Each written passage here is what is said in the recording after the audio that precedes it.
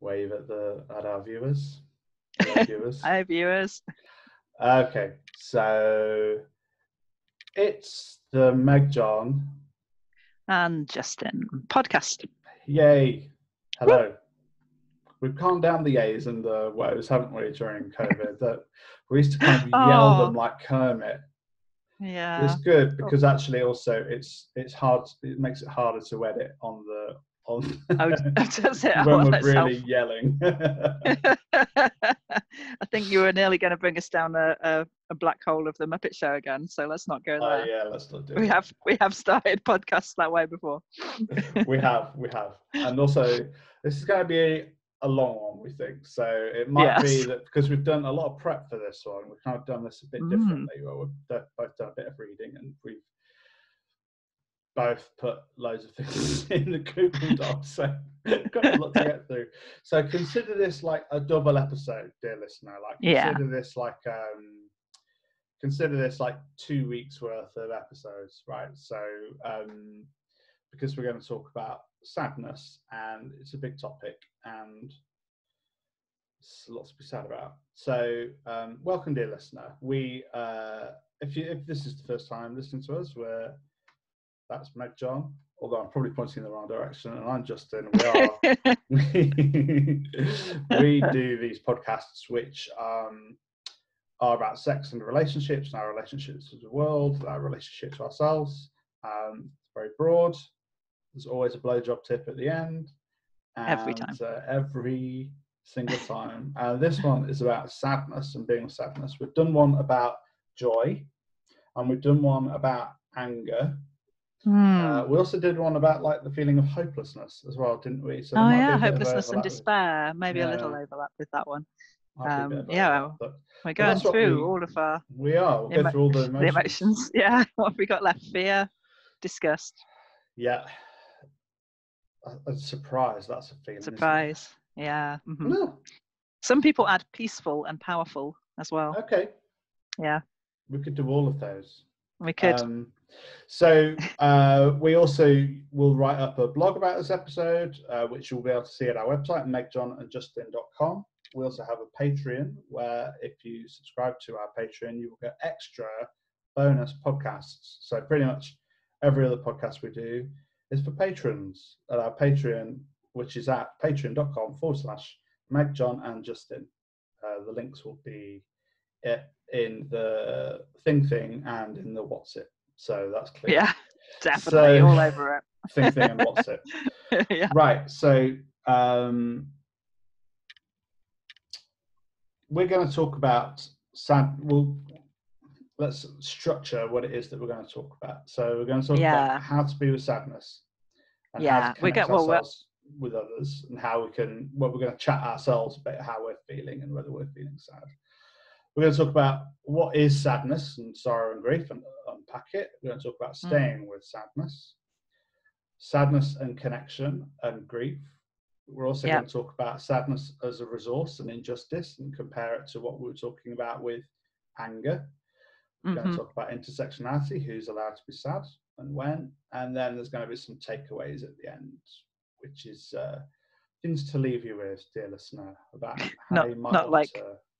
Thai takeaway or Indian takeaway. Sadly, not. Uh, no. Though you could have a takeaway while you're listening to this. Recommended.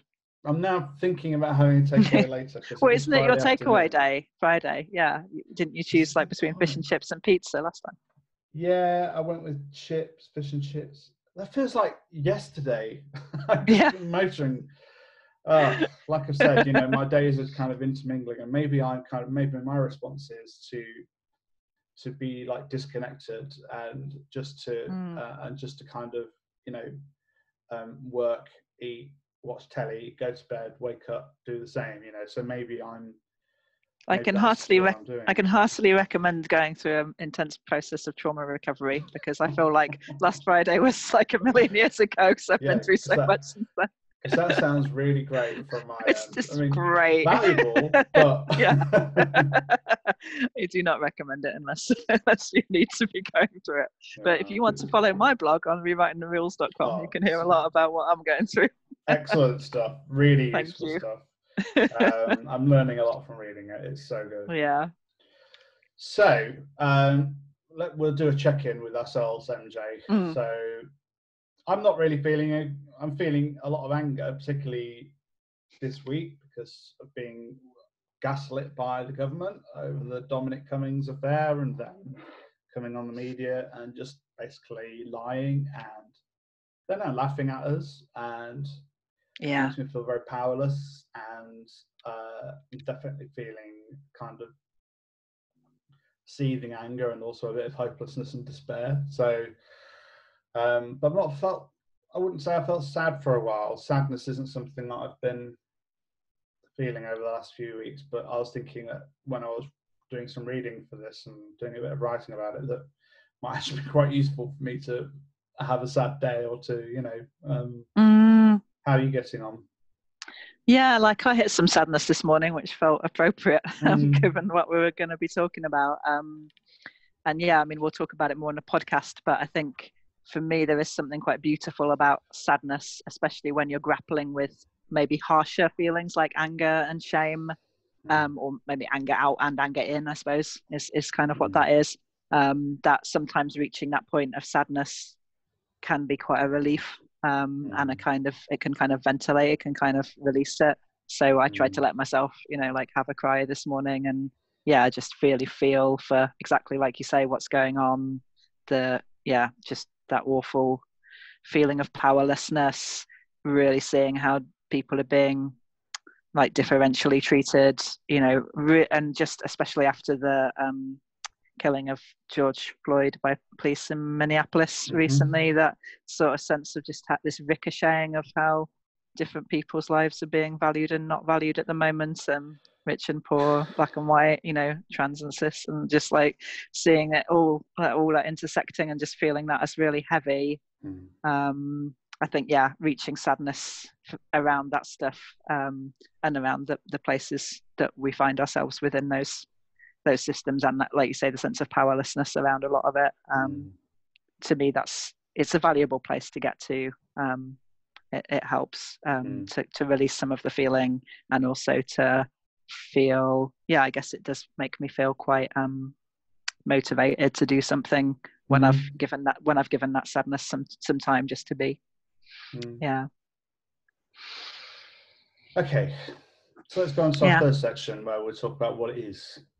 Um, Yeah. Before we then start unpacking it and talking about what we usually do, which is politics. And Yes, we'll get intersectionality. get that. Don't worry, dear listener, we've we're on that. So, Mm. um, sadness is something that I think that we want to. It, it feels like it's an emotion that we kind of want to avoid. And I was reading one of my. Um, I've got this. Uh, I won't. I won't um, diss the author publicly, but I've got a, a book for young people about building confidence and stuff. It's like, and I bought it years ago because it has some good activities in, it, and I thought, oh, what's that got to say about sadness? I Mm. went to sadness, and it said, you know, sadness uh, makes you feel, you know, heavy and uh, down and lethargic and grey, and it's best to be avoided. Like, fuck off. so I put Oh, that book, man. well, but I'm gonna put it actually down in the bin. Yeah. Um, because I really don't think. I really hope I never thought, but I really don't think that sadness is something that we should avoid, but it's something that we Yeah. are encouraged to avoid. I think hmm um, are seen as something which is inherently negative. And I think first and foremost that we shouldn't judge any feelings as, or emotions as being inherently negative or positive. I think that it's Mm. you have to treat it for where it is, don't you? But I do, and I think in some ways it's uh, it can be, and you know, I get- well, again, I got brought up definitely with a, you know, it's never okay to be sad, and somehow that's a, you know, it's not okay to give people the impression you're sad because you're somehow doing something bad for them if you're sad, you know, and that kind of thing. But um, I, now when I feel it, it does have. I mean, like we'll get into there's different versions of it, I suppose, but it does have this really beautiful quality mm, um, you know, to me, it, it feels nearly as pleasant as joy if I can Yeah. really allow myself to feel it. It's just a really beautiful, tender, soft, gentle feeling. You know, I think it's it's yeah easier easier on the body and brain for me than uh, than an anger or a fear. You know, which can feel quite harsh. You know, those feelings. Um, it's whilst kind of- also being very valid. Mm. it's kind of slower, isn't it? It's Yeah. Um, I value it for when I have felt sad and when I've been able to articulate to one of my strategies is to tell my inner circle that I'm Mm. feeling sad via WhatsApp and say, you know, so just so you know, I'm going to be quiet for the next couple of days, having an attack Yeah. of the sads. Mm. Um, I'll let you know if I need anything, but you know that's why I'm being quiet. And I've texted that to you and uh, other of my uh, close people, and it's like, um, cool, Justin, thanks for letting us know. You know, I'm here for you, mate. You know, just stuff this Mm. Of quoting kind of thing you would say. But if you if you're in that kind of once you've made that space, there isn't as something necessarily to fear about it either. For me, Mm. um, yeah, I do get that sense of it's. Um, I find it valuable and uh, kind of yeah, there is like a, some kind of a pleasure to it. I think I don't know. It just feels so Mm. just feels like so one of those really raw feelings that they the thing that I take away from it is just to be like, whoa, you know, Yeah. be like recovering after laughter, you know, when you're laughing and you're really in your Mm. body, it's like, oh, you've just felt something so much. If I've like left a, a, a nightclub where I've been dancing and that, that moment when I come out and there's been so much joy and I'm like, oh, that was just, you know, Yeah. it was. All I can say is that it was a feeling coursing through my veins. And I definitely get that with sadness as well. It's a very releasing one. If again, if you can allow it, especially if you can allow tears or sobbing or you know any any kind of Yeah. expression of it. But even if you can just actually sit with the tenderness of it and the rawness of it, I think yeah, it can really release. You know, that's that's why I think particularly embracing of it at the moment. Like if I get to sadness, it means I've got kind of we'll get to this, I suppose, but underneath often the harder feelings that I've been feeling, particularly around shame and fear like it's such a relief to get to just this like oh the sadness for me going through this for anyone else going through this it's just Mm. like you know something starts to flow again and also i think it can again if you can let it it can enable a real gentleness you know Mm. if like you'd be with somebody who is sad or an animal who is sad or a kid who is sad you know Mm. can you be with if you can be with yourself like that and like really tuck yourself up get yourself a hot chocolate you know Yeah. it's an emotion that to me now anyway it calls to that kind of treatment Mm. um, from from myself and others i think the kind of descriptors that I would use for how it how what what it feels like to be sad, like what or how it's how it appears to me and how it how it is. It's, it feels very internal, Mm, uh, and I feel um, it's kind of like a grayness and like a. I feel quite listless and also quite heavy and um, that I'm only that I'm only capable of doing very small yeah very small things uh, and that in that space i'm able able to do like self-care and you know nurturing practices definitely but just not a lot of things you know i can yeah. small amounts of things and then i need to put in huge slowness huge gaps. We've done a podcast recently about this and it's like Mm, and that is the way of getting through it. And you know when i've done it and i've come out the other side of it i feel better as a result. It is that release that Mm. we're talking about mj yeah I'm going to do my yeah. first name drop. Uh, Go on. of the- you know, I'm trying to do more reading about more things. So, um, you know, I'm trying to learn more, and that's one of my. It was kind of a New Year's resolution to do more reading and to kind of Mm, pay a bit more, you know, to broaden my political and education, but also my general education. So, yeah no well I- i feel the same and inspired by you to often look to the more political podcasts and things which is good So I've been looking Mm. at the work of one Donald Winnicott, who is uh, you'll know about you know about Winnicott MJ. So uh, he Yeah. was uh, um, like would you say like psychodynamic uh, child family therapy guy? Is that right? yeah exactly definitely followed on from freud and co Yeah, and he Mm. wrote this um, brief essay that I found online called "The Value of Depression," and he's talking Mm. about so his this is like 1964. So, and he's kind of resisting the kind of the quite medicalized term that we have for depression at the moment. But I think that Mm, his where he's talking about depression, I would say read sadness um, because I don't think he's talking about depression as it would be read in 2020. Um, Yeah.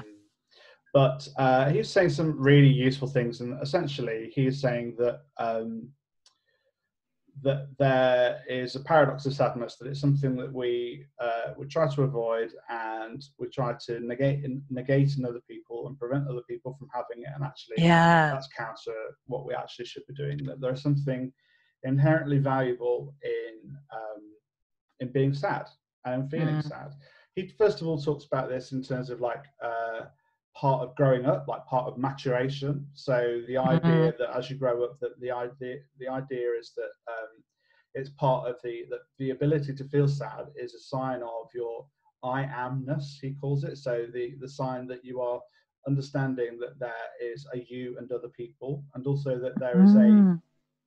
an inner you and an outer you. So the, the Yeah. idea of I can't remember his term, uh, e, stru, e, structural ego or ego ego structure or something.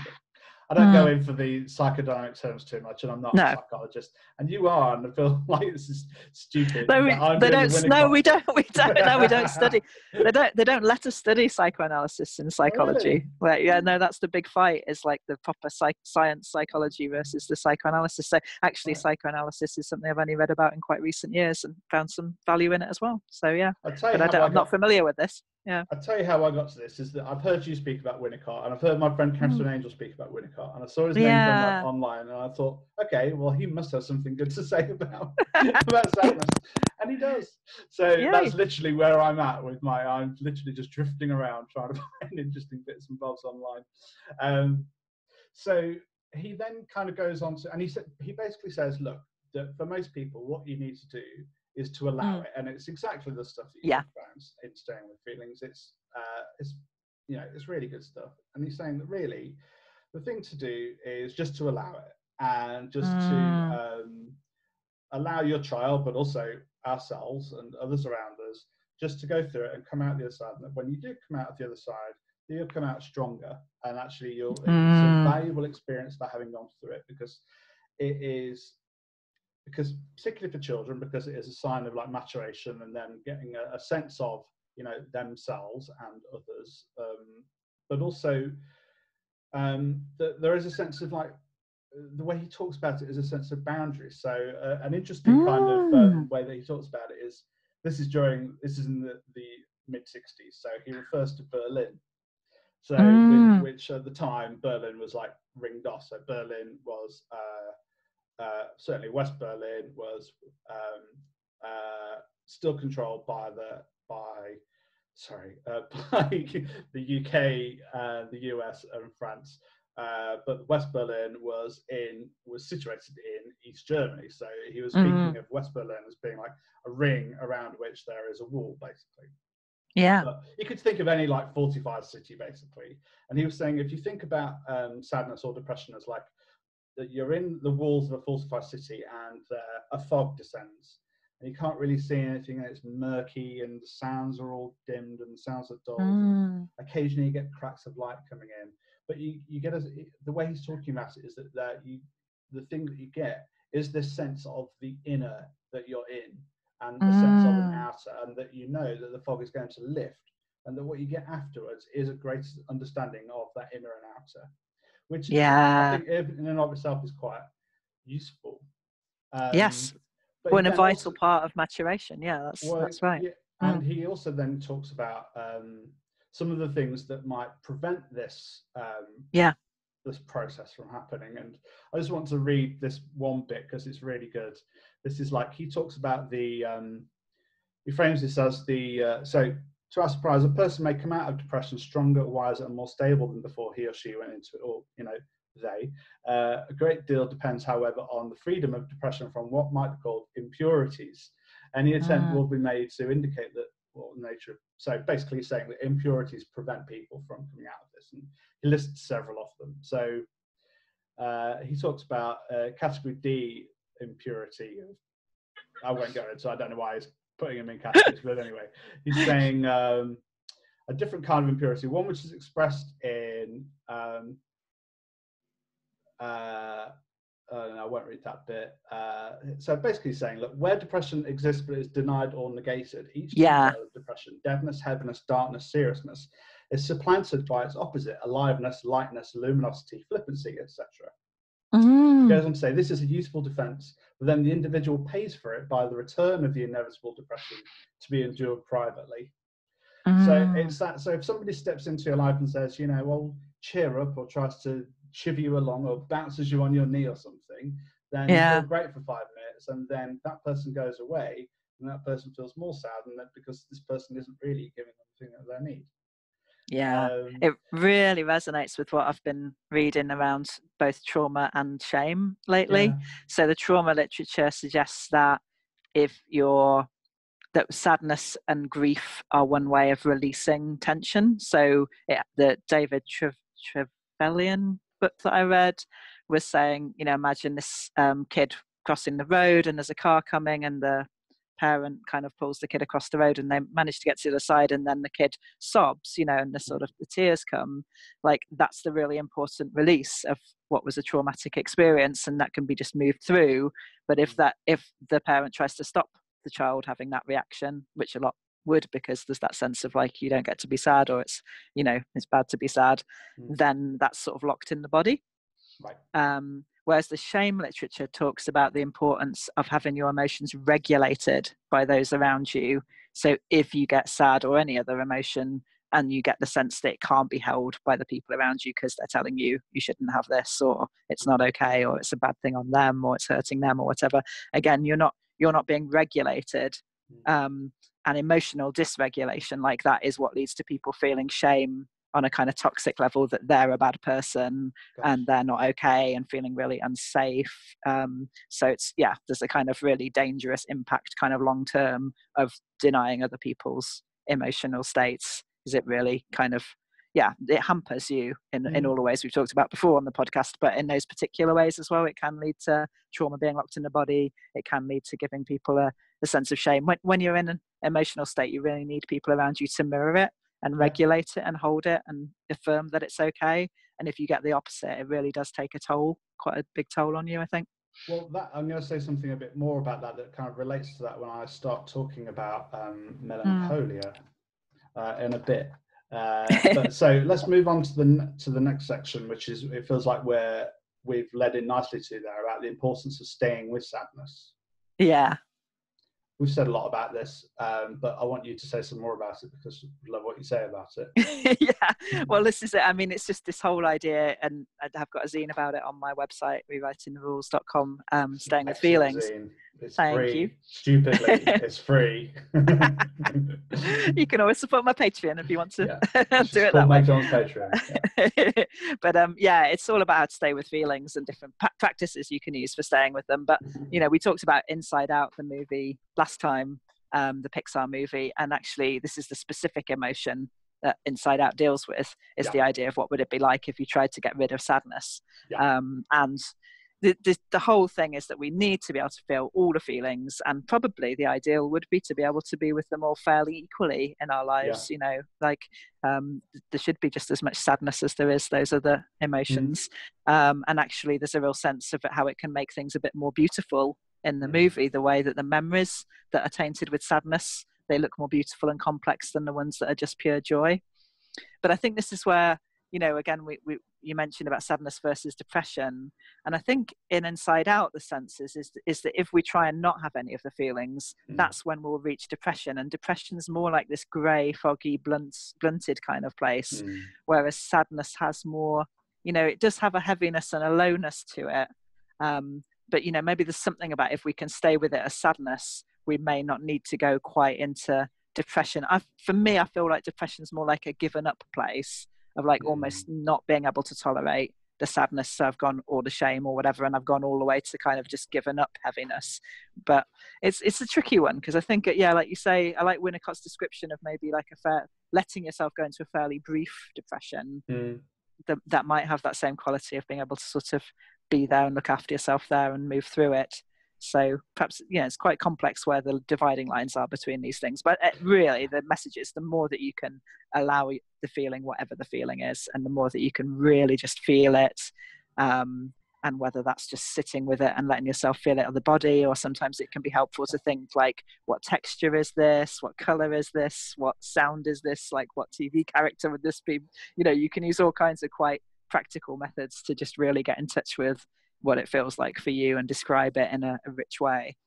Yeah and you might have things to go to. You know you might have like a, a, a cuddly toy or you might have mm. a food stuff you know there might be like comfort foods there might be a playlist there might be a film you know there is oh yeah things that can help you nurture yourself through it and there are things that other people can do for you as well we'll talk about that towards the end with with mm. the takeaways bit but um and at no point here whenever we talk about depression and sadness at no point are we you know trying to um give kind of easy answers to how to deal with depression uh, we are talking mm. about sadness here rather than depression um, although there is, as MJ was talking about, there is this fine line, and uh, but um, that's, I guess, it's like a, a, a, spectrum. But also, there is this medicalized element to depression, which is neither good nor bad. It's just a different mm. thing, isn't it? Sorry, it's just me saying something quite basic. no, it's imp- no, it's, it's important because it's not like saying, oh, like this is oh, it's simple, no. just be with sadness and then you won't get depressed, you know, no, or just exactly. be with be with depressed in a little way and you won't have to experience it in a big way. It's like no, most of us grapple with this stuff our whole lives, and and, yeah. and I think it is really good to think back to what were the messages you received growing up about this stuff because for a lot of us, it's by no means easy to get in touch with sadness. You know, many of us will be taught it just simply isn't okay or isn't even safe enough to express sadness. So, you know, it may take some time to get to a point where it does feel, you know, like you can get in touch even with that sadness feeling. Most of us cover it over with other feelings. So, you know, it can be quite Sorry. a beautiful gift when you finally get to sadness because you're like, oh yeah, this is what was underneath all of that other stuff. Yeah. Well, exactly, and that's the that's the thing that some of us are going to find it easier to be sad than others. Like if it was more yeah. okay for us to be sad, and we've had if we've had experience of this, you know, maturation that we talked about, mm. this uh, uh, of being allowed to feel sad, then it's going to feel easier for us. Um, mm. Just to, uh, I was when I was reading Winnicott, uh, he was saying that melancholia is a medieval term. So I was like, mm. oh, hmm. right. I know. Do we, do we know anyone who knows anything about medieval? Know, yeah, I do. So yeah. I spoke to my girlfriend, who is also known as Dr. Eleanor Janega. Um, I'm just going to read out the WhatsApp chat.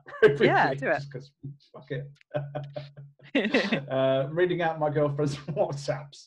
This is this is the research I'm doing now. No, but um, I like that we go to all over the. I've got some tweets later to mention. It, it just you know, it's like it's whatever whatever comes together, and also it's nice and kind of levels out the different forms of expertise, yeah. right?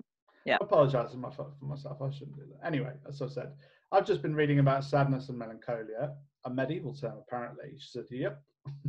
uh, linked to excess black bile. And I said, Was there a distinction between mourning and melancholia? She said, Yeah, because mourning is brought on by a specific incidence of loss, and melancholia is linked to a humoral imbalance. So, uh, black, so human theory um, is that there are four humors: black bile, yellow bile, water, and better just double check that.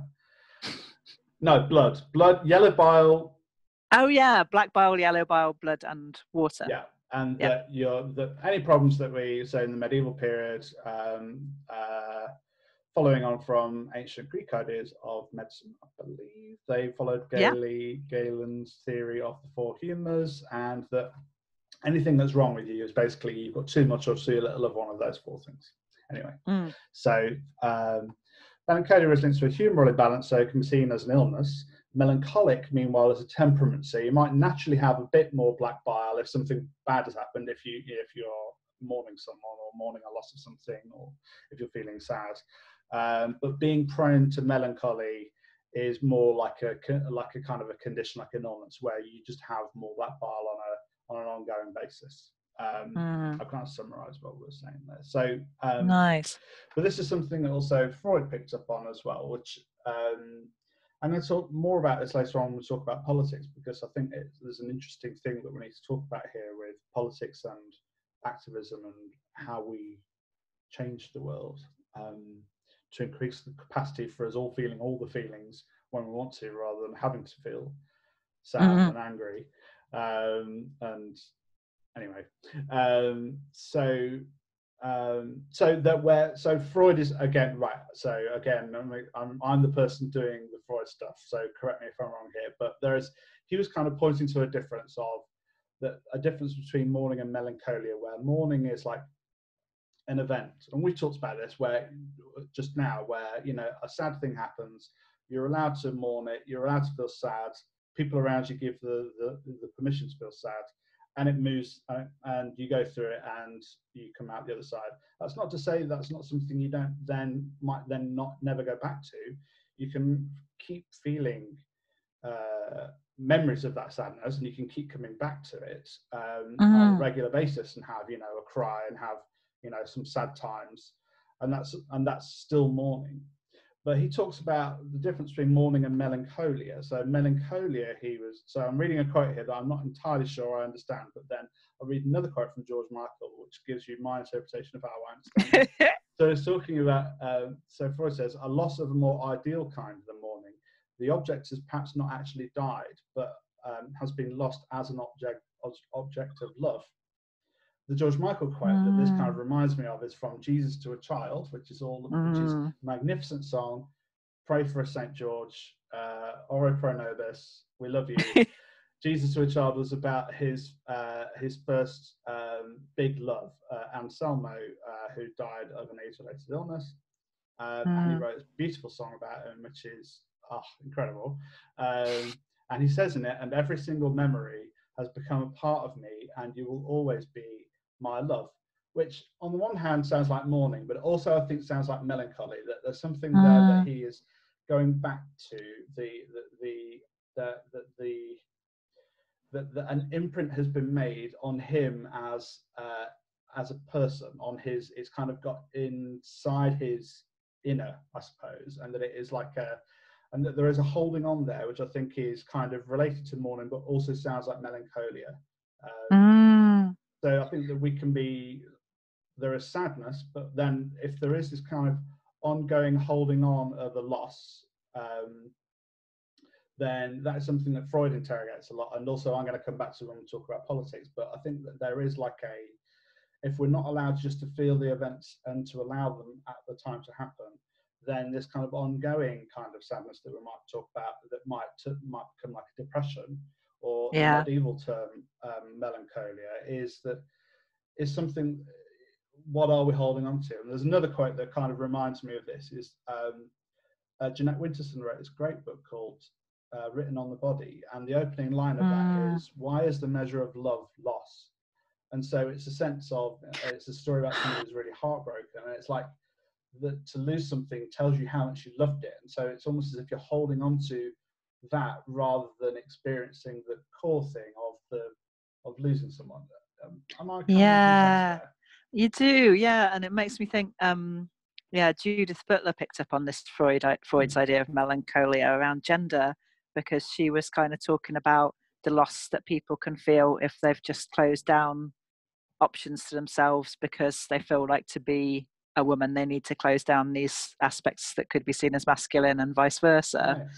So there's something about melancholia as like yeah, loss of opportunities of closed down close close down opportunities for yourself or ways that you don't allow yourself to be. So again, you could sort of see it as more in, in keeping with that kind of not allowing yourself to feel things can can kind of be more the melancholia yeah like the way this came up for me was i'll talk about this later was in a podcast about being here now like being in the here and now and that kind of makes sense mm. then for me that yeah maybe there is a difference that might be i don't know whether this is useful for you not dear listener but if that but for me if i'm feeling sadness either because an event or a memory of an event or i'm just something just hits me yeah um I'm really, really present. I'm really in that moment, and I'm really mm. just like I can feel everything. You know, even yeah. though it's even though there's a there might be a grayness and a heaviness, I'm really like I'm really in my body. I'm really mm-hmm. feeling it. But at times when I'm feeling just kind of like grouchy or disconnected or mm. somewhere else, maybe that's like melancholia for me. Maybe it's that I yeah. That maybe maybe there is a difference there. Um, that you might that you might want to think about, dear listener, if that's if this is something that resonates with you. But just the point that we've got to so far is that the um, is the benefits of allowing ourselves to be sad, and that it's uh, natural to be sad and completely um, mm. logical to be sad, and that actually the best way to deal with it is to allow it, yeah, be it, and come out of it, and then. Mm. Yeah. And we can relate it to the current time, I suppose. I feel like you know a lot of the problematic stuff that's happened has been around people trying to adapt too fast mm. you know to something to a situation that involves a lot you know huge amount of loss on a global scale mm. um, you know whether it doesn't whether it or not it hits close to home for us you know mm. the kind of precarities and losses that pretty much everyone's experienced so this sort of idea of like adapting to the current situation or making the best of it or like suddenly being really productive or mm. all of this feels like it's sort of again like the, the wider culture just as our upbringings in, in this wider culture probably told us it wasn't really okay to be sad or only mm. about some things and not others mm. you know this idea of appropriate sadness um, similarly you know we get this message all the time you know and it is this real neoliberal capitalism that we talked about on that podcast the mm. graph always goes up you know mm. up is to happiness to joy to high feelings excitement it's not really okay to hang out mm. in the mm. low places um, with with sort of neoliberal capitalism. Um, and again, it's uh, there's a, a, lot of damage. I think if we can't grieve, if we can't touch into sadness, mm. you know, again, it really makes me think about this whole idea of like which bodies and lives and labour are mm. valued and which aren't. Because if we can't touch into sadness, we can't feel that grief of like some groups being put at like way more risk yeah. than others, and um, you know the the divides between rich and poor and global north and global south and you know all of this um, the way other anim- you know the other way other species get treated it's like that's that's the thing that mm. connects us to all of that um, and to and enables us to you know i suppose it's it's it's to me sadness is about connection it's about compassion mm. it connects us to our own vulnerability and that of others and it's such a relief to get there because it's it's yeah like underneath all of this stuff that we do to try and protect ourselves from the really hard stuff is the sadness and to be able to actually feel it what's going on at the moment have we moved ahead to this bit about fighting injustice here or because it feels like we're we're saying some of the things that might be part of this or should we go back to yeah I, I suppose it's you know like this is about what we were going to say next around sadness and connection mm, but i yeah. think that you know it sort of feeds naturally into the sense of it it can kind of make us feel connected to other people in a ma- way that makes us want to do something mm. you know i suppose i think about um yeah like how do i feel when i see this these kind of news stories um you know and or see somebody homeless or you know mm. there's that kind of blunting that you can do you know or mm. around thinking thinking about where your food comes from or, you know you can just like switch off I d- mm. don't want to it's too much mm-hmm. it's overwhelmed well, and and it, sadness gets you to that like i can connect with it i can feel mm. that um often through connecting with our own vulnerability mm. and the times when maybe we've experienced loss or grief and then we can oh like it is it's like that so the kind of um, reactivity we've talked about on previous podcasts, you know, going into the fight or flight or freeze or mm. fawn, you know, those are all ways of kind of not going to sadness. I think that's one mm. way of seeing them.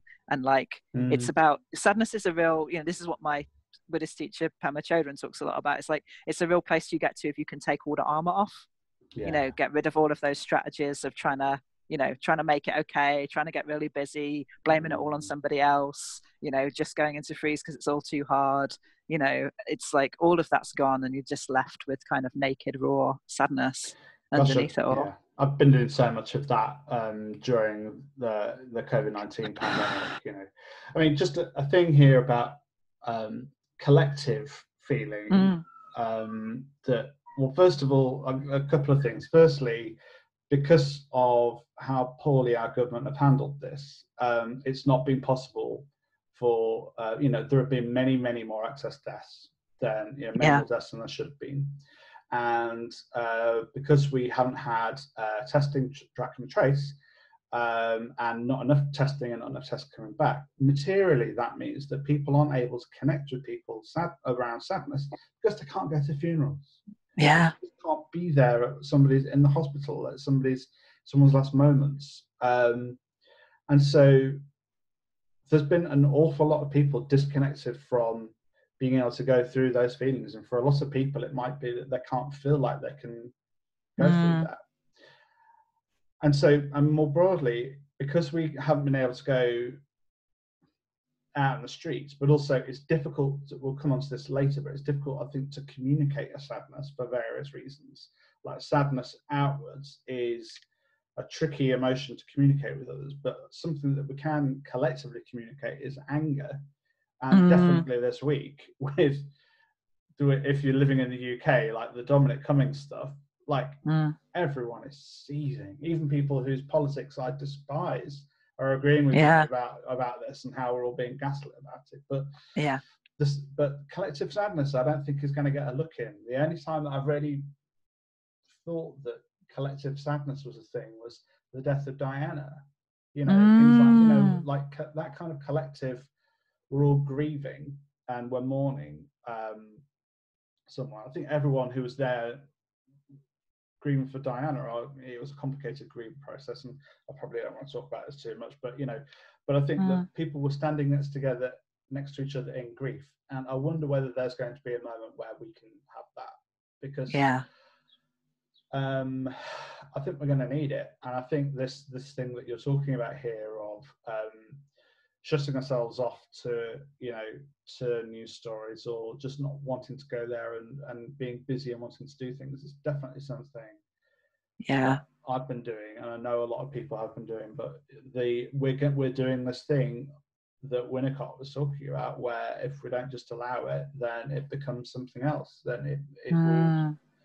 it's uh, it's something where you know pushing a rug down or a lump comes up in, uh, in another part of the room and Yeah, and I think maybe towards the end of the takeaways, we can talk about ways of doing that. But I think mm. there are ways of opening up spaces. Like before this all happened, I knew of some groups who were doing it around climate change, and you know this idea of deep adaptation to what to what's coming in terms of climate change, Mm. and making like space to have. Because again, yeah, if you don't grieve it, you can't move through to this. What can we do about it? Place or if you do it's it's risky because you're going to be doing it out of all of those reactive places because you haven't really contacted with the feeling potentially so i think that's yeah that's what's really important to kind of allow the grief um, and we can we'll talk again about appropriate places of doing that and not uh, inappropriate places of doing that because i think Mm. like all the emotions can be expressed in quite reactive ways that Mm. then you know do do problematic things and sadness is no exception it can be kind of performed in ways that are unhelpful Oh, as well. Yeah. um yes yeah I've read the notes. Yeah. we'll get there yeah so do you want to say yeah um about we both had sort of thoughts about sadness as a resource for fighting injury because Yeah. i think it was just because we were looking at the notes from the anger one and that i don't know if we'd have thought of this otherwise but because i was going through those headings and we'd got anger as a resource for fighting injustice i was like wow sadness as a resource for fighting injustice and then it, you know it made me think actually it's a it's a really important resource for fighting injustice what did you think Yeah, I mean, I think that it is. I think it is, but I think that Mm. I, think in a different way. I think in a more Yeah. like long. I think in a. I think over the longer picture. Um, I think as part of a process where we're allowing all of the feelings um, mm, to be involved. Um, I think I. I don't. We, when we talked about anger, we talked about it being an energy and Mm. the the what Audre Lorde was saying about the symphony of anger and how mhm, and, and again what Judith Butler was saying about how anger was being used in a non-violent way uh, in Black Lives Matter and in, and in Me Too. Um, and we're in the middle of another, you know, the shocking death of George uh, George Floyd. We're going to see this again, I think, once the once the initial completely justifiable anger um, uh, subsides. Uh, we're going to see hopefully hopefully more of this, but anyway, that's the anger podcast. So we're on the Mhm. sad, sadness podcast. Um, but I, but it, I think anger is also about um, again, what we talked about it, and again, anger in, in the Pixar film Inside Out. Again, if you're not if you've not seen this film, honestly, yeah, it's the real gold. Yeah. um, anger is interested in justice and therefore bound and boundaries and setting boundaries. Yeah. So I think what anger does is maybe gives us space to allow us to feel sad. It, I think it can build. Mm. It helps us to mm. build this. Uh, it helps us with our fortress of. Um, understanding our inner and the outer. And I think sometimes we just so need good. to feel safe in that um, in the inner. And you can't just in the same way that I was saying, you know, when I'm feeling like I'm having a sad couple of days, I'll text people. You know, I'm putting in like a moat around my mm. Bailey Castle. What? I'm turning into a medievalist, but um, but it is like. Um, but I think that we need to do it because mm. I think that ultimately, like sadness is like. It, I think it is. Uh, it puts me in a place of feeling vulnerable while I'm in it. You know, it's yeah, like I'm not very strong during it, but I know that yeah. once I'm through it, once I come out of it, I'll be stronger after. Yeah. As long as we can go through it in as a pure way as possible, as Winnicott was saying, if we can get through mm. sadness without guilt or shame, uh, yeah, or um, anyone trying to just make us feel different things. If we can just get through it in that way, then we do yeah. come out the other side more strongly. So, in that sense, I think that that's not something that people are doing enough of, right? So, I don't think people, mm. Just to talk about left wing politics again, I don't think people have been mourning um, the missed opportunities with Bernie Sanders and Jeremy Corbyn um, mm. as left social. Uh, social justice, potential for social justice from uh, the left mm. there um, that we so desperately need, um, I think, um, is not something that um, people have had an opportunity to mourn, uh, probably because of coronavirus. Mm. But also, it is like a, I think it is a, a, necessary thing. But I think the, sorry, I've got quite a bit in the notes about this, so it's me. no, I like it. I don't, yeah, carry um, on. The, we're doing it in a new way, aren't we? I'm quite enjoying having notes. It feels like a, it's like a show you know, yeah, chatting, but there's a bit of us chatting as well. Can I chip in on the boundaries thing? Yeah, yeah. While yeah. you're there, yeah, yeah, this idea. I love this idea of needing the boundaries to enable the vulnerability because mm. it relates to a lot of what I've been writing about around trauma or reading and writing about and experiencing. Um, uh, well, first of all, there's this real sense with trauma of we need, we've lost care and protection, and we mm. need care and protection. Mm. So, care and connection, it's all about the vulnerability piece, and the protection is all about the boundaries. So, it strikes me that you're saying that anger and sadness work together. Like anger's about the protection, here's my boundaries, and then that enables sadness, which is about the care of the self, but also the connection with others through that sadness and vulnerability. And then thinking about how they map onto the trauma responses. Um, you know anger is really that fight response which can be good you know it can be yeah. a really useful response right it's the one that's about boundary setting mm. and it seems like sadness is much more related to me to that fawn response which is a really vulnerable response mm. that's like trying to please people because i'm really vulnerable and small mm. so that you know to me those those two parts that when I can access them, fawn is very much the part that's related to sadness and vulnerability, and um, fight very much to boundaries and protection and clarity.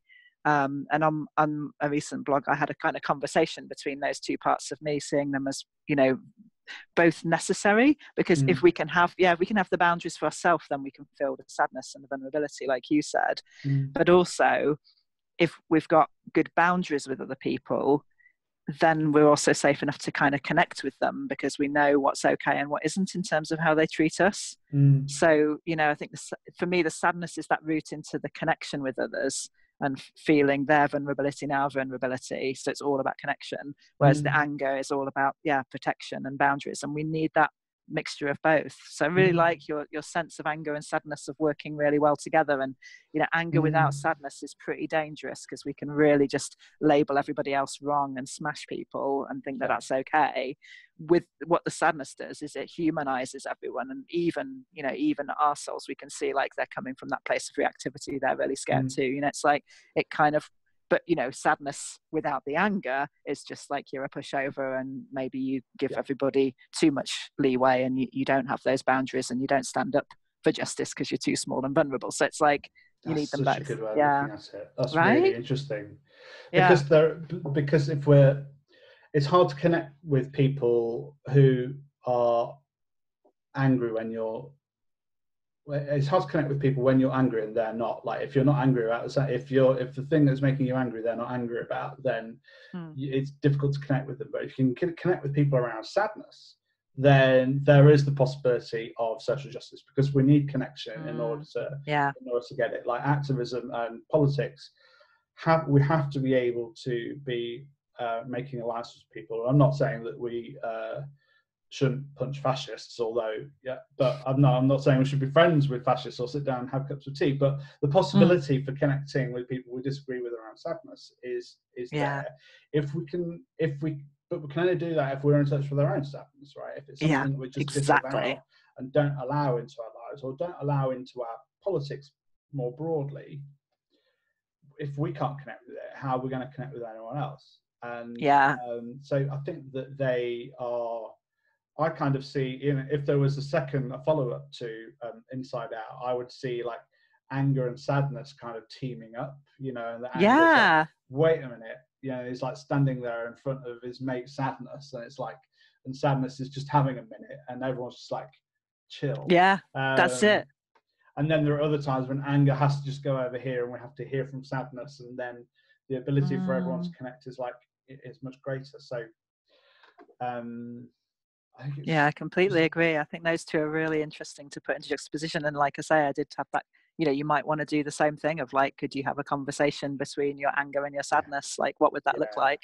Because I think one without the other is risky. You know, I feel like when I'm sad without the anger, I'm just going to collapse, you know, any criticism. I'm just mm. too vulnerable. But when I'm, you know, angry with, without yeah with angry about the sad it's like it doesn't have that place of connection and you know you, are going to lose allies and you're, you're going to overrule people and you, uh, the, the worst is you become as bad as the thing you're fighting right you know which Big we have time. seen happening yeah Big time.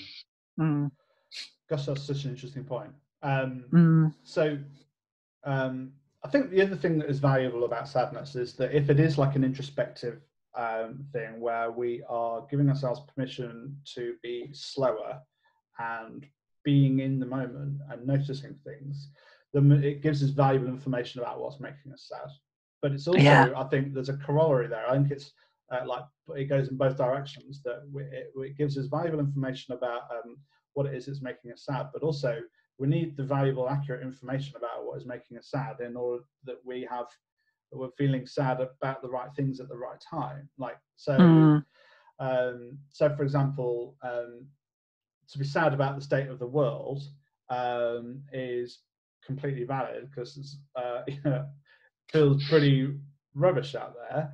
Um, but it is um, it is still okay to also think about you know that there has been some progress that the that or that there are there might be some positive things happening or that there that things are a bit better than they used to be in some respect. Now that's not to say it's not to talk about um, uh, another term I've learnt recently, the fallacy of um, the fallacy of relative privation, i.e., there's always someone worse off than yourself, or that mm. cheer up, there's nothing for you to be sad about. You know, that's yeah. bollocks. But it's also just not accurate to basically, it's if you're sad out of inaccuracies, then I think that there is something that is not very political about that. I think there's something a bit yeah politics about that if you're not really taking all of your information into account. Also, if you're ignoring some information and you're ignoring uh, Black Lives Matter movement at the moment, and you're thinking, well, you know, mm.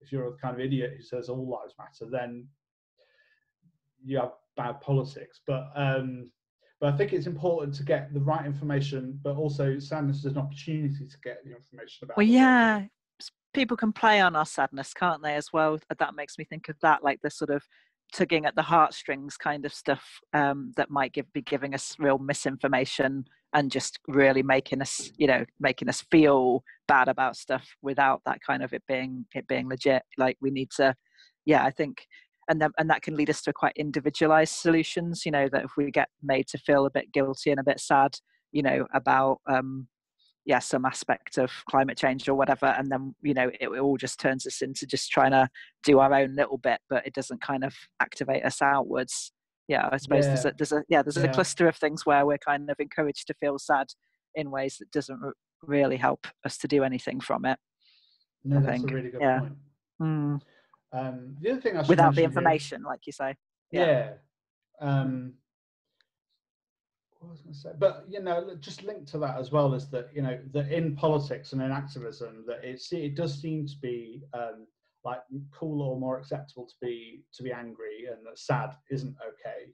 Uh, you know, Mm. who goes on Twitter and says, "I'm just really sad about all of this at the moment." You know, it's it's, it's kind of less acceptable, like as an outside kind of expression of something but it's also Mm. kind of cool to say things are rubbish. Like a lot of my favorite podcasts, like my favorite pod, one of my favorite podcasts, which is really funny, is Trash Future, and their whole Mm. raison d'etre is that everything is really shit actually at the minute, and it's kind of funny.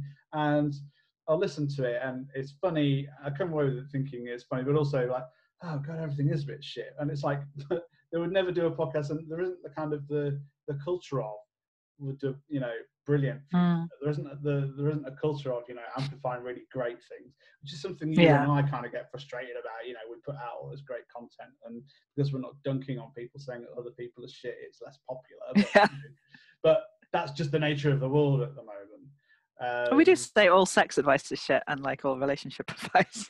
yeah, but we don't pick on people, do we? we We're- cert no, absolutely. Yeah, Yeah, yeah. Well, just be shame we careful when you. We could do, but like. I just think be careful when you start down that road because where are they coming from? You know, this is my point about sadness. You know. Yeah, exactly. Mm. Um,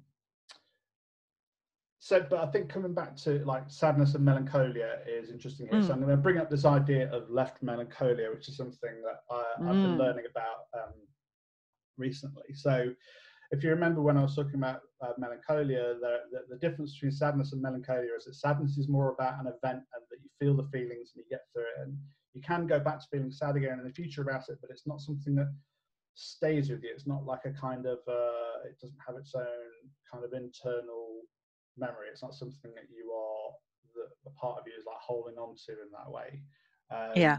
But this, this is also true for like, uh, the, people can be melancholic for a particular way of doing politics uh, in the past Mm. but uh, but we can't recreate that politics, and it's stopping us from from imagining a future. And that's basically the tenet Mm. of left melancholia. So there have been many on the left. There have been many defeats over over the over the years. There have been many defeats since I've been a voter for the left over the years. Yeah. And rather than feeling the feelings and going through them and feeling sad and coming out of them, there is instead a kind of a, an ongoing melancholia where there is like a wanting to go back to a time when, uh, you know, there is like a, Mm. a longing for the left of the of the 1960s, or but people forget that the the the left that people were longing for was only there for like 20 years. There wasn't that kind of left before that. You know, there wasn't the kind of the left wing politics um, that for for you know for giving Mhm. workers what they needed before the end of the Second World War or after. There was like the 50s, 60s, and the early part of the 70s that is something that we were longing for, but it prevents us from being here and now and thinking of new solutions and new ways Yeah. of organizing, new ways of seeking out social justice. And I think that's like a really interesting way to to so one of the things that we can do is to allow ourselves to feel sad about when we lose or when we're not doing so well or Mm.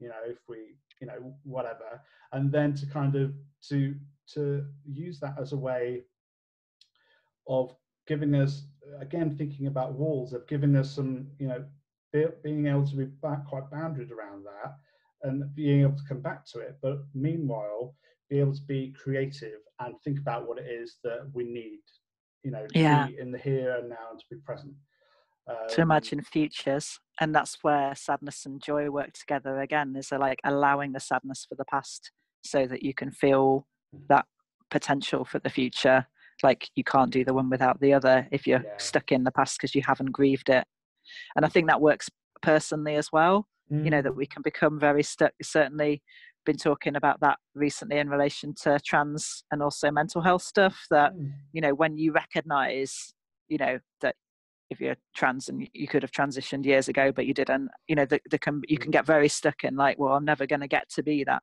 teenage boy or girl or whatever you know or i didn't get to be a non-binary child or you know you can get quite stuck in what you haven't had but you know there's a there's a certain point which is so important to like grieve that loss. It is a very legitimate loss and one that isn't necessarily recognized but if you don't kind of grieve it then it like you're losing the here and now and the Yeah. potential future, right? In a similar way. And the same can be true like for noticing your stuck patterns or mental health struggles and Yeah. you know addictions and how they've come round and again and again. It's like you can get very um, aware of just how much of your life has kind of gone into that again that, can keep you kind of stuck in it rather than you've been able to grieve it and but you do get to live now you know it can be really hard to kind of free yourself from the Mm. past i think yeah personally and politically i like the way it works on both those levels that we can be so and we see that on the left and the right as well you know there's that real hankering isn't there? That real nostalgia for the past whether whether people are left wing or right wing that, that it was like the, those better days back then.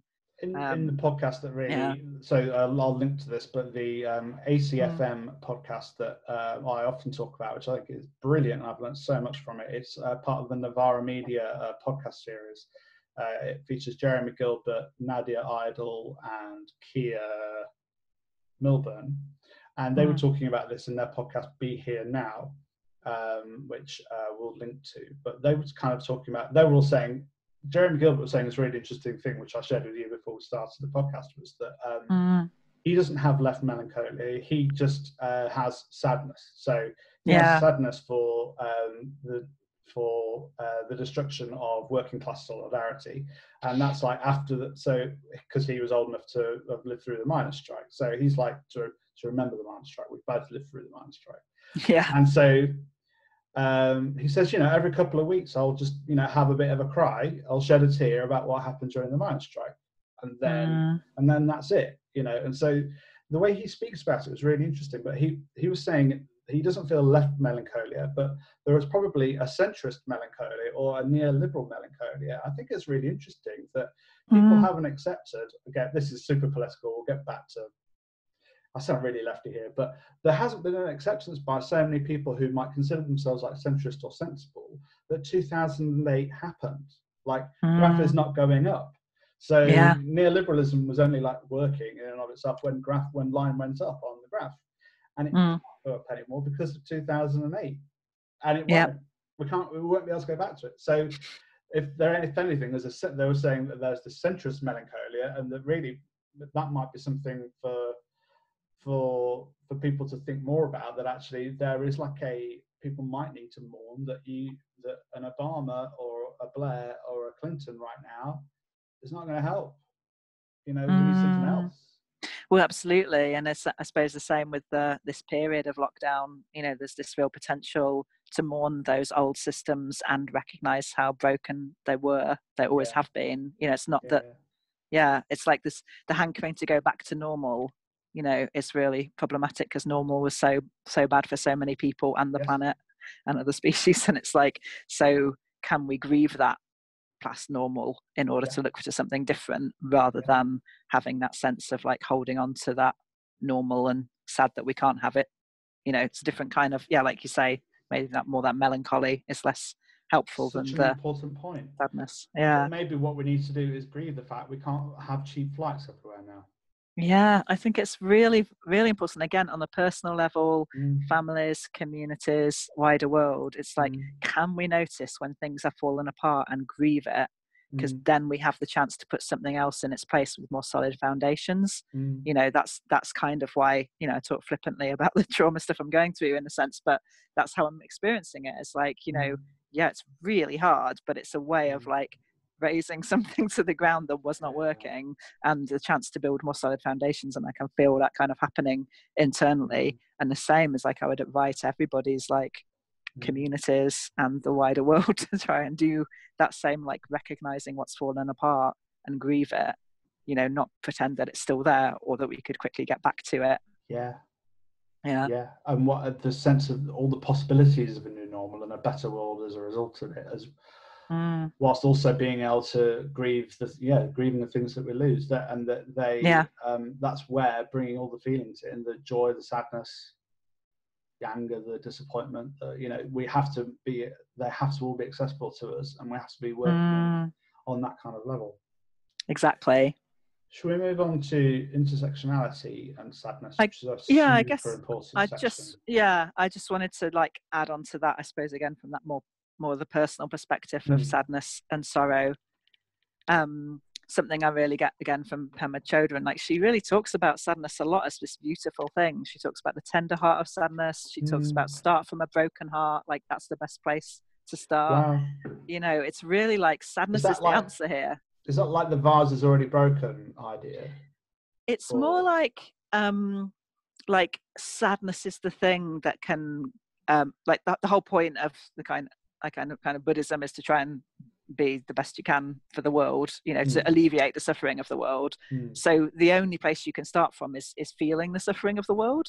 mm, So really the thing that stands in the way is everything we do that covers up that feeling mm, you know it's like the ways we block and that's Yeah. why um, a lot of those buddhist meditations do that thing like you start with compassion for yourself and then you try and feel it for a close friend and then for a, mm, a neutral person or stranger and then for someone you find difficult all those practices which i actually Mm. find quite difficult but you know they're all about trying to remove the blocks so that you can feel literally the same kind of the same sadness you would feel for your own suffering or for mm. the suffering of a, a an animal you hold dear or your own Right. child or something you'd have that same response to a stranger in a foreign land right? Right. like that's the that's the point because then Yeah. we're going to want to alleviate everyone's suffering. It's a really similar idea to intersectional feminism really. It's like that Mm, until until everyone's free no one's free. Yeah. you know it has to be all of us. Mm, um and that's the say that's why I, i'm so drawn to those two perspectives i suppose. So that so to to the buddhist and Pema's the one that like my way into that is like sorrow and sadness is the way into kindness and compassion you know mm, that's they're so helpful because if we Mm. can feel it and and you have to feel it for yourself like it's Mm. going to be really hard to feel it from anyone else if you can and also there's an extra piece i think of that if you can really feel it and if you can really know your own patterns the way you block it and the things that you put on top of it to stop yourself feeling grief for yourself or for others then you can also see other people doing it so you can mm, even then be sad when you see somebody else doing fight flight freeze or fawn like you can spot it much more easily. Mm. oh that's what they're doing. And then you can be really sad because they're covering over this beautiful thing that could enable them to connect with others. And we're all caught up in that. And i think that's the big sadness for me that sort of sense of like oh my god i just spotted myself do it. Mm, and then this other person did it you know because i was you know i lashed out at them and then they lashed out me and it escalated and that's what we're all caught up in and it's just so Yeah. shit you know and it's it's deeply deeply sad that Mm. you know that that in you know on an interpersonal level that person doesn't feel safe enough with us to tell the truth they have to cover it over with lashing out or fawning or whatever and it's also really sad on a global level you know that yeah like whole groups of people just don't feel safe enough to be able to be sad or or express their sadness because you know they're literally not safe enough to do so mm. Yeah Wow, So that's that's where- really important stuff. yeah And it's that thing about spaciousness, isn't it? And giving people the opportunity, like the the the op- just again speaking about. Well, we're going to talk about this a, li- uh, with when we talk more specifically about intersectionality, but it is the the opportunity for feeling sad is disproportionately Mhm. uh. It's dis- dis- disproportionately distributed. I mean, Yeah. um, and unequal so- distribution again like who gets Yeah. to feel sad who gets to feel angry who gets to feel Mm. joy yeah Who Like, that's to feel so- all those things whenever they Yeah. want to. yeah yeah like you're more free to have the full gamut of emotions the more privileged you are Yeah. mm. yeah Okay, so uh, intersectionality and sadness. So, um, do you want to kick us off on this part, MJ? You got some. yeah This is well, so what this is quite relevant to what's going on at the moment. it sort of goes on from what we were just saying i suppose Yeah. that sense of like you know there's a potential for sadness to link us to absolutely everything Hmm. um, like I certainly feel like when I can access that vulnerability I have as a survivor and as a trans person at the moment with Me Too and the trans moral panic, like when I can really get in Mhm. touch with that sadness, it can link me to other people in those communities, but potentially also belong beyond those communities to other people who are being tre- undervalued and treated as if their lives matter less. And it's a nuance to this because you don't want to be saying, you know, all experiences of oppression are exactly the same or Mhm. you know everything's equally bad or something like that but i still think there's a place for the feeling all these Mm. feelings in fact to connect us you know if we feel fear we can connect with somebody else who feels fear Mhm. right now or if we feel sadness we can connect, with somebody else who does Mhm. um, but you know it's important to think like who yeah who gets to feel sadness and who gets to express it mm. and i'd invite everyone to think about those circles that we often use of like mm-hmm. you know mm-hmm. what does wider culture say about people like us with sadness mm-hmm. what do our communities say is okay you know maybe our faith community or whatever like what does our fam what were our family rules growing up you know mm-hmm. and what are our own for us and also those axes of intersectionality it's like what's what's okay for men to do. yes, this is how it goes. what's it okay for men and women and non-binary people to do? What's it okay in mm. terms of race or faith or uh, sexuality yeah. or disability? Yeah, um, and um, yeah, I, th- I, think it's okay to mention this because she's put it out as a blog post. Um, there's a blogger and person on Twitter called Aisha Small, um, and was just saying on Twitter today. Um, I'm just going to read out the tweets. Mm-hmm. For a black person in a predominantly white country, the effects of racism are probably best compared to a form of PTSD, which is why the angry black person narrative is so reductive. Anger is some people's response to trauma. Maybe they want to cry, but vulnerability requires trust. Mm. And how are you going to trust if you don't feel safe? Mm. Or if the, the things that you know are very real aren't even acknowledged as happening, like the mm. gaslighting you were talking about earlier, Justin. The closest parallel here may be domestic violence or sexual abuse and later, um, saying a little bit more, um, she said, maybe it is anger that people are feeling, which is entirely valid, or maybe that anger is a safer way of expressing despair, fear, sadness, shame, or mm. disappointment. And I thought that really captured it so well of like, yeah.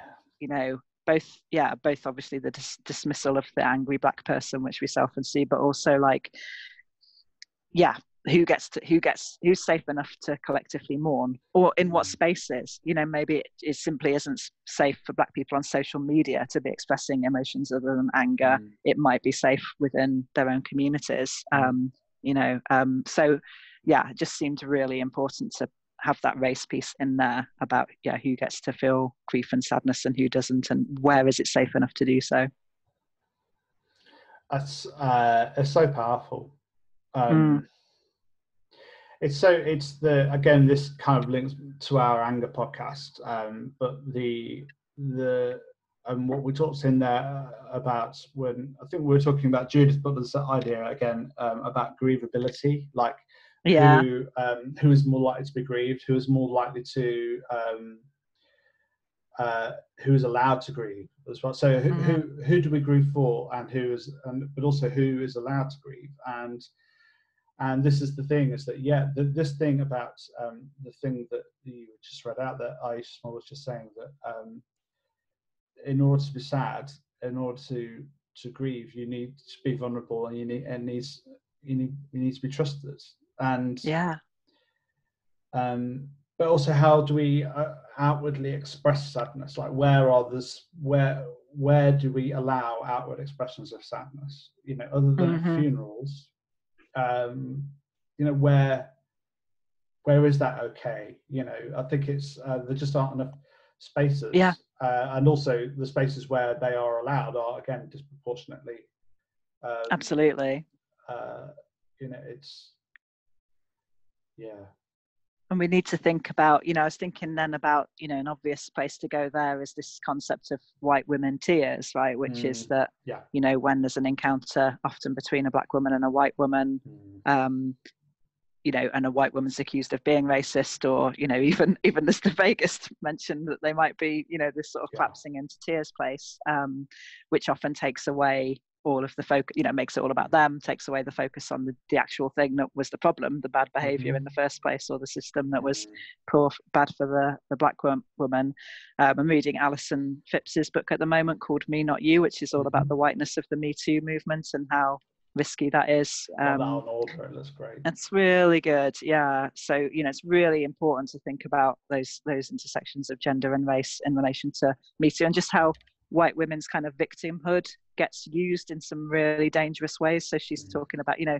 it's kind of the, the paint the painting of the good survivor who is usually a young white woman, mm. and then calling on the criminal justice system to come in and protect mm. when we know the damage, the terrible damage the criminal justice system does mm. um, to to black people in mm. general, um, and also in various other intersections, right? Mm. So um, so yeah but you know the, the tricky thing was that is like with the white women tears idea which i've struggled with a little is like but is that saying you know that kind of it's not okay to express sadness? Like if somebody does collapse into tears you know that, mm. that's kind of my my go-to response often when i'm i feel really bad about hurting somebody. So you know what what's the deal there? And i think it's um it's about you know it can be done in a really performative way and that really is a problem like if you are really you know that you're doing it and you're just trying to make it about you and trying to get trying to escape legitimately looking at what you've done that's hurt somebody mm. then not okay you know but grief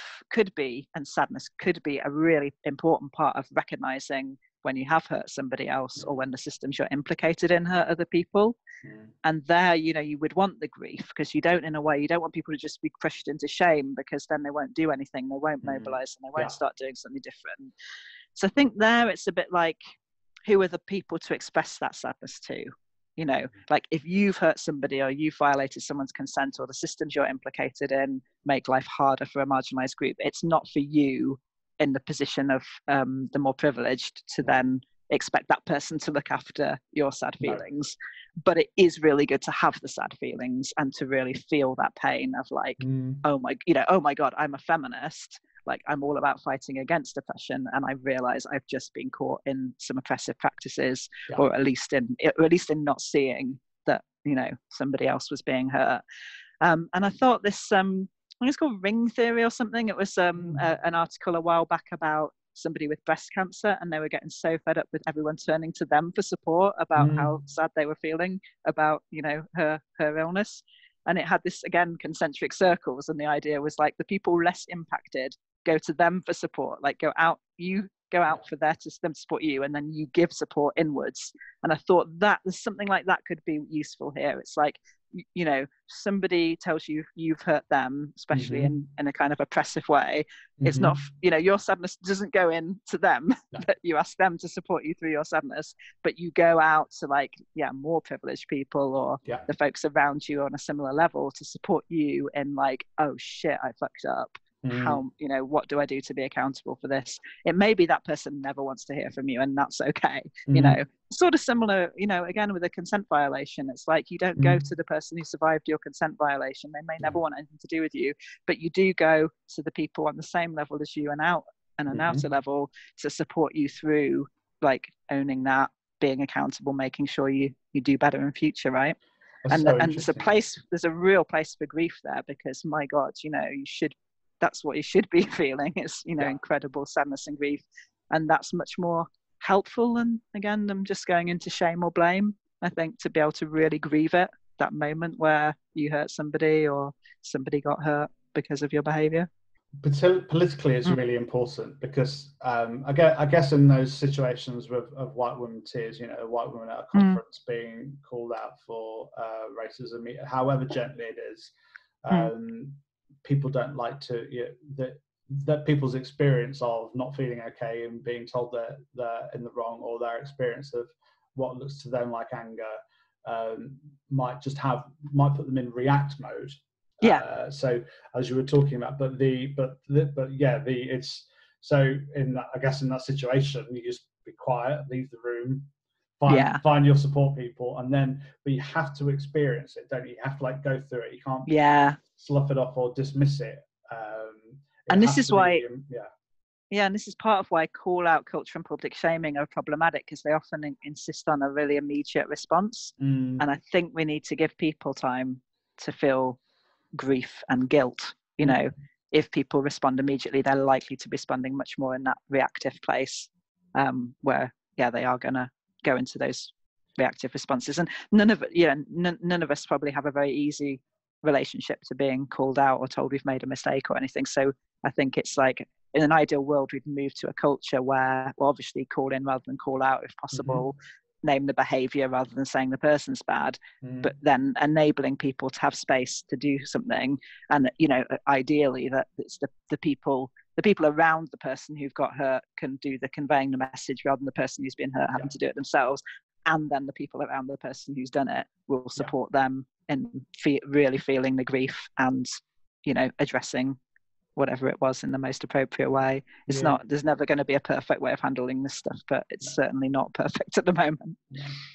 Yeah. Um, I'm going to talk about men and masculinity Mm. for a bit, and it's interesting because that thing you're saying about ring theory um, reminds me of you know, the classic situation of a man in a heterosexual relationship that's just broken up, uh, and who does he go to instead of having other outer circles of other Yeah. men he could go to, goes to the person he's just broken up with or has just broken up with him.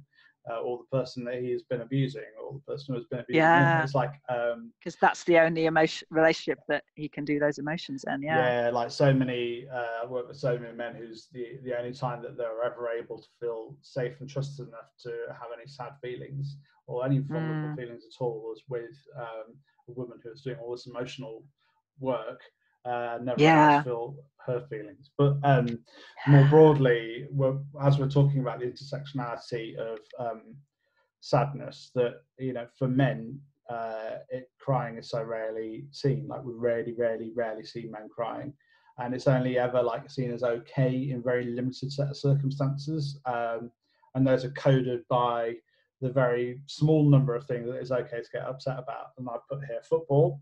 So um, uh, Gazza getting a second yellow card in the semi-final of the 1990 World Cup, England versus uh, Germany, and it was a bad, it was a bad tackle, MJ. It was bad. It deserved a yellow, it deserved a booking. But you know, I haven't I haven't been listening to this since you said Gazza. I just I've just gone. deserved a booking. He went in and he was rash, and then he got a red yellow card straight away, and he knew that he wasn't going to be Mm. able to play in uh, in the final if we got through to the final. And it's a very famous moment in in yeah, I do remember this. culture. And um, I was 14. I was I was just distraught when I was watching this. And um, it's like the first time I'd ever seen a man cry. And we're all watching it. Like you know, so many people in the country are watching this man crying on the pitch. And Gazza says, you know, I'll have a word with him to uh, Bobby Robson. It's like Gazza's going to have a word with. Uh, Gary Lineker's going to go and have a word with Gazza, and he's crying. It's on the pitch, and we're going to get beaten. And it's awful. It's like that's the only that's like the only time it was okay when I was growing up, and then to be sad, which is like That's and it's just Astonishing, stupid, isn't it? Fucking football match, but you know, anyway, and all the horrible nationalist jingoism that came with that. But anyway, uh, yeah. oh, I love that. Oh. Uh, anyway, but um, and the other times when it's okay as well as if um, man, it's okay for a man to be sad if he's uh, if he's experienced a loss. So, for example, if uh, Mm. someone being a dad, you know, maybe they're they've lost their kid or something, or they've experienced some kind of like awful traumatic event, then it's kind of coded Mm. as okay because they are like a provider and a protector and you know Yeah. and so it's like it's but even then there are limits to how much men are allowed to be okay and it goes back to what you were saying earlier about um about um uh like the angry black person narrative um Mm. and how um you know if we want men more broadly to be um uh, to be more uh, to be able to express sad emotions, we need to, as a culture, do something about it. And that's Yeah. not asking. That doesn't mean that we ask individual men to be more sad uh, openly, but we we would have to create a culture where it's more okay. But Mm. The masculinity donut, which is what I talk about at my website Bish, where I would say that uh, that men are donuts, that uh, that there is the dough of the donut, which is all of the learned behaviors of how it is you're supposed to do masculinity. So being uh, Mm. tough and uh, uh, competitive and better than others, and um, to uh, all that kind of stuff. Um, that's all like okay masculinity. I'm putting it in inverted commas, but the not okay masculinity are all the emotion stuff, like which is the Mm. jam of the donut, and that men do an awful lot of work to prevent jam from spilling out because it's seen as not okay. And so uh, you get these very unpleasant donuts where it's all dough and you're feeling pushed into the corner of a room as the dough expands um, in order to protect this jam, which, you know, the, the man is doing everything you can to keep inside. And, and sadness is very much in the jam of the Jam. donut. Yeah. And so, Yeah. so much dough can be, and then it's just doing more and more damage to everybody. It's doing Yeah. damage to the man, but it's doing damage in culture. And, you know, this is where the, this idea of toxic masculinity means that um, that we're just not. re- It means that change just becomes harder. And so, you know, there. So as it's less okay for um, men to do sadness, um, it means that there is less work, less of this kind of work that we've been talking about getting done. Like if sadness is at least as necessary as anger, and yet all, mm. all men are encouraged to do, and the only kind of emotion it's okay for men to do is anger in the broader culture, then it's doing a number on everyone. But yeah. also, I think crying generally and sad gener- being sad generally, I think in the culture is seen as a weakness. Like it's seen as yeah. that even where uh, women or anyone who isn't a man does it, it's kind of like it's still not seen as being brilliant, but it's just more okay because it's more under, understandable. Because if you're not a man, uh, or if you, certainly if you're a woman, then you're positioned as weaker, and it's like it's understandable, even though it's not cool. Because the thing that we again mm. line go up, the, the the values that we uh, seem to um, value as a culture are aggression and hardness and toughness and stoicism. That's right. And... This is where it goes back to vulnerability, doesn't it? It's like yeah it, it's really not okay to show vulnerability for anybody is it and it's like and it's just this weird um polarization of vulnerability and strength yeah. when really it's you know it's far stronger to be vulnerable and to show vulnerability that takes so much strength and so much courage to do it's incredibly hard Whereas, you know, being being just bulletproof and hard is not that difficult for a lot of people. It's you know, like to actually show vulnerability, but we're so encouraged to cover it over. Yeah. yeah, like really not seen as okay. I Just oh, it wouldn't be great if we could just cry in the street and if we could just see people in tears just as much as we see people laughing or having a shout. You know, it's just yeah. it would be such a good world, right? And for it not to, I mean, if I saw someone crying in the street, it's so rare that I'd be like, oh, what do, what, what should I do here? Like this is, yeah. feels like an emergency, and actually, it's just a, it's just a feeling, and that's it. Yeah. Get to that. I mean, again, it's just it's this paradox that we talked about at the beginning of the show about three and a half hours ago. we said Saturday morning when we began this podcast. when, when Winnicott was talking about this as a paradox that mm. um, you know that it's seen as something that we need to dismiss and negate, and the more we do it, that less mm. strong we're going to come out of it as a result. Um, there are going to be kind of ongoing vulnerabilities. You know, if you think about we think about James Bond and the the opportunity for James Bond to be sad, Oh, we've thought about time. donuts and James Bond in the last 10 minutes. So I'm just loving this podcast. I guess a useful yeah. kind of uh, thought experiment for you to take away, dear listener, would be you know, next time you see a depiction of like a, a hard man doing hard things, if it really mm. is that tough, if the if it's if it's if it is this kind of like bulletproof Teflon toughness, imagine an alternative story where he's going through all the sadness, all the feelings, but he's particularly been able to deal with sadness and grief mm. and loss and come out of it and then come out of it stronger. Like, you know, yeah. maybe that's the thing we have to like just imagine because we'll certainly never see it with um, in the next Bond film. You know, he's sad for like two minutes and has a whiskey and or a yeah martini and then. Well, every Bond they they do like oh finally a more vulnerable Bond and then you watch him and it's just like oh no you know it was like okay yeah Timothy Dalton was a little bit more um, yeah. vulnerable than uh, Roger Moore, and then Daniel Craig was a little bit more vulnerable than Pierce Brosnan. You know, yeah. Pierce Brosnan wasn't vulnerable. No, I, am not sure I could adequately describe Pierce, Pierce Brosnan. anyway, it was a step a step backwards, I think. Sean and Daniel all the way, as far as I'm concerned. Uh, I think that Roger Moore is oh, uh, criminally underrated as a Bond. I think the films were bad. Bad, I, really bad. Bad films, but I think he was a yeah. good Bond. Okay. Yeah. But, we can agree to disagree. I'll do a raised Roger Moore eyebrow for our. Funny, I could raise one eyebrow. I would love that. right. We're on the final section. And we're yeah, takeaways. Takeaways. Uh, yes. So some things to. Um, so we've talked a bit about some of this, but it's nice to kind of round things up with what mm. uh, how to move forward with this. So MJ.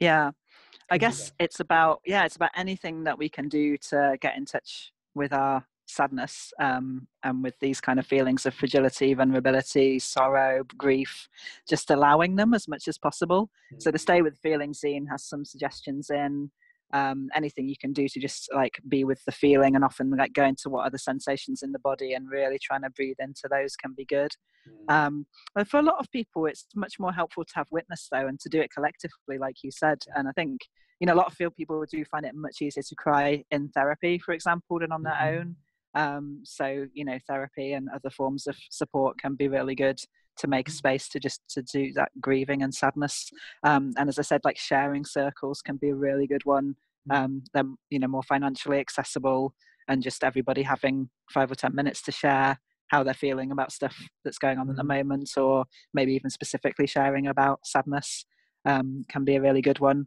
and then there are those more like buddhist meditations where you know pema always suggests start with something that really cracks you open. So she mm. uses the example of um, her teacher seeing um, an, an, animal being really hurt, and um, you know he just always could go back to that moment. You know that he couldn't do anything about it, and he was seeing this and just seeing the pain in the animal's eyes. And like, it doesn't matter what you start with, but something that can elicit that feeling of sorrow and kindness and compassion in yourself, and then like doing that work of trying to extend it out. And and she says it's not it's not like you're trying to like oh, I need to be compassionate to everyone.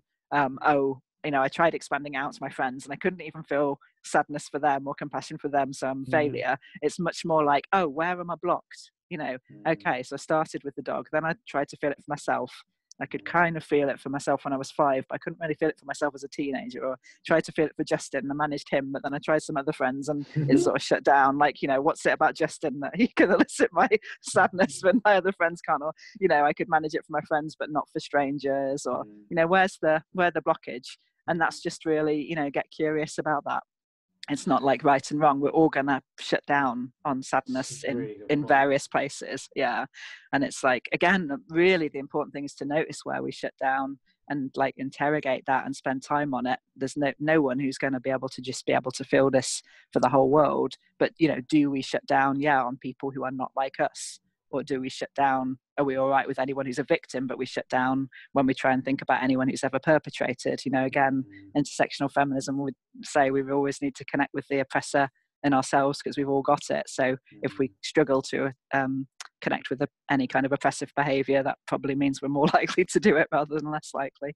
So it's sort of like can we feel the pain of everyone caught up in all of these dynamics? That would be where we're where we're trying to get to albeit it's a lifelong journey that's really interesting. I think that's point. it. Yeah. yeah. Um, a, lot of people say, just to talk about the news as well, a lot of people say that they just kind of switch off the news or avoid news. And I think that, you know, there is good self care practice to be had in that. And I think there's only mm. so much news. But there yeah. is currently news. There is the, the, the George uh, Floyd um, killing uh, yeah. in the US is news happening at the moment. I think that the thing is, is that even if even though we're overwhelmed with news, overwhelmed with news, and also overwhelmed with the potential to be sad, I think that it is important to to allow or, or to allow yourself to give yourself permission to feel sad about something which we should feel sad about. I think it's exactly. I think it's just good practice. And I think that that is a thing that we could feel sad about. And I think it's a thing but you might, yeah. About, but even I think if we, we might feel anger about it and hopelessness about it, but the only way to do anything about it ultimately is to at some point feel sad about it because it's only mm. through going through the feelings of feeling sad can we come out the other side with the resources to be able to do something about it. Yeah, and you might think about like how you navigate that for yourself. I suppose you know yeah. it, it goes back to that self care thing of like what we engage with. Mm. You know, like there may be ways of engaging with news that ensure you know that we get the stuff that we really need to know about and yeah. we do make contact with these really important moments um, as well as you know protecting ourselves. Otherwise, I think you said it really nicely. You know something about like get, get the news story, but don't get all of the hot takes. You know, yeah. don't get overwhelmed with like being on social media and what's everyone saying about this. But you know, maybe you could use that. You know, maybe you could use that time. Maybe it's much more about like here's the here's the story. Here's what happened. Now I give myself 15 minutes to feel sad about it, or an hour to really you know connect with that sadness yeah. um you know or Maybe days or weeks depending on how much it yeah exactly. Like actually allowing the sadness because in a way just getting a that can be one of the ways we avoid the sadness isn't it? Like to try and just hear everybody else's thoughts about it. Mm. and also it's okay if you can't reach sadness you know because you're just overwhelmed with anger first and foremost or fear or mm. you know because it hits so close to home that sadness feels too too dangerous to go to or you haven't got safe enough others mm. and i suppose that that would be another thing for takeaways is you know can we think about who our sadness posse are you know like yeah. who are our go-to people like can we have that conversation with them about how we want to be around each other in sadness yeah mm. and can we have um can we just open up conversations about sadness with people can we you know is there someone that we know that we have a collective memory of sadness about and mm. that we could open up a you know not that we want not suggesting that we necessarily might value from like making everyone feel sad when we're sad because there's something very non-consensual about that but um mm. but just to be able to connect with someone who you know might have had some or might will have some sad feelings about for example someone that you've lost or something um, yeah and the ability i think it will it's just about also being as an honesty thing here as well isn't there it is mm. just about being honest and avail about our feelings and allowing them to be available to us, but allowing us to be able to speak about, about them with other people because then also we're modeling with other people mm. that it's okay to have those feelings. And ultimately, that comes back to what where we started with, with Winnicott, which is that you know if parents allow their kids to be sad, then they build the resources and the capacity to be sad more easily. And yeah, build the resources to be sad, feel sad, and come through it. And so yeah. it is more. It is. It is a practice thing. Mm.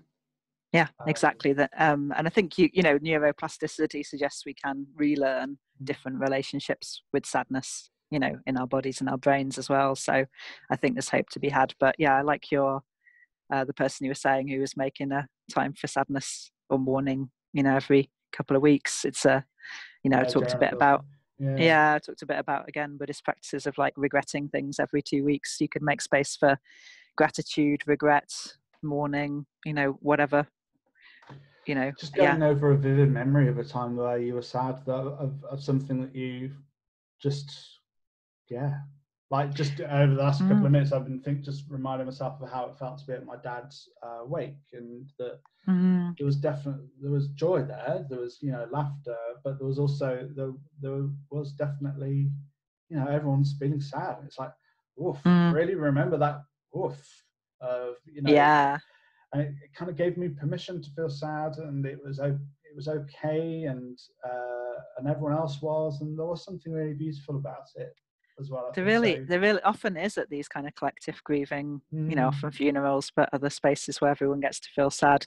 Mm. And the other mm. thing you can do for yourself, if there were times in the past where you didn't get to, is revisit those memories and feel for for you now, mm. and that can be again part of that kind of recovering from trauma. Can be allowing yourself to grieve those moments. They probably be, you know, less like um yeah constantly there like you were saying i guess about the mm. melancholy you know it's like you can let them go a little if you're able to grieve them even if you didn't get to grieve them back then mm. Mm. That's us and sadness then isn't it? Yeah definitely. Next up fear slash disgust. But i like we've got we've got anger joy and sadness down now. Yeah we did yeah. despair and hopelessness as well. Yeah. Well we hope you enjoyed that one. Enjoyed, valued. anyway, that episode, dear gentle fragrance uh, and textured and smooth and silky listener and viewer. Of course, any feelings you had were entirely valid, and we hope that you are able to feel them. yeah, I mean, let's. Yeah. I hope you found it useful. Let's say that. Yeah, that uh, would be nice. Yeah. um, so um, again, some uh, very quick plugs for where you can find more of our stuff. If this was the first of our podcasts you've listened to, we've got a ton of others on this kind of thing, and also um, more stuff about sex. um, which is how we started. Yeah. Um, but, Sad sex. It's a thing. Yeah, sex, yeah. Uh, ooh, who knew? Uh, and that's so you can find all of that at um, megjohnandjustin.com, including loads of uh, excellent blogs. Uh, you can find the rest of our content at patreon.com forward slash Meg, John, and Justin, where from just a dollar a month, although ideally more if you have it, but as from as little as dollar a month, you can have access to all of our exclusive shows on Patreon. You know, Patreon works by now, hopefully. Um, you can tweet us at Meg John Justin, and we're on the other social medias, but you know, social media is a con, isn't it? We're not really into it, but you can contact us at social at uh, Twitter, uh, and do send us a message if you message if you have any questions for or any topics you'd like us to cover in any upcoming shows. Again, via the contact page at megjohnandjustin.com, where finally you can also find our publications. Uh, we've got some zines about relationships and sex and uh, fantasies that you can buy for £2.50 each. And you can buy a book, uh, A Practical Guide to Sex. That's right, isn't it? They've renamed That's it. right. yeah. and it's a handy pocket size. You could put it in a tweed coat on a trip to Scotland to meet your lover after, after coronavirus when you're allowed. When you're allowed on a train again, if you ever want to go on a train. That would be nice, wouldn't it? I would love to go on a train again. I'm done. I'm fine not going on a train. Really? the whole world is so scary oh. right now. Some but yes, maybe point. when the world feels safer, I will be on that train with yeah. my tweed jacket. all right then. So until next time. Yeah. Thanks bye. all. Bye. Bye. Um, bye, dear YouTuber. Bye, bye, bye, bye, bye. Where's the stop button? Where's the stop button? Keep waving till I find the stop button, MJ.